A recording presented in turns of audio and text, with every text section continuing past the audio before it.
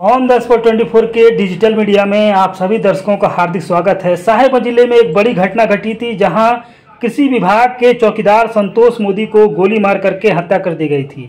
मामले में पुलिस को है दूसरी सफलता मिली है और पुलिस ने जो है तकनीकी सूचना के आधार पर एक आरोपी नारायण मंडल उर्फ़ शिवा मंडल को गिरफ़्तार कर लिया है।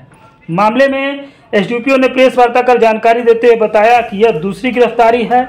वहीं जो संतोष मोदी की हत्या हुई थी, इसमें जो है चार सहयोगियों के साथ विक्रम कुमार दास ने जो है बड़ी घटना को अंजाम दिया गया था। पुलिस जो है आगे अन्य आरोपियों की तलाश कर रही है। आगे एसडीपीओ क्या कर रहे हैं, सुनिए।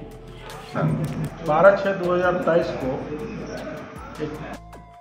यहाँ एक कांड हुआ था, जिसमें एक चौकीदार कृषि विभाग के चौकी की हत्या हुई थी। इसके संदर्भ में बोलियो जिरवाबाड़ी थाना कांड संख्या एक सौ छत्तीस तेईस धारा तीन सौ दो सताईस साल से के अंतर्गत दर्ज किया गया था।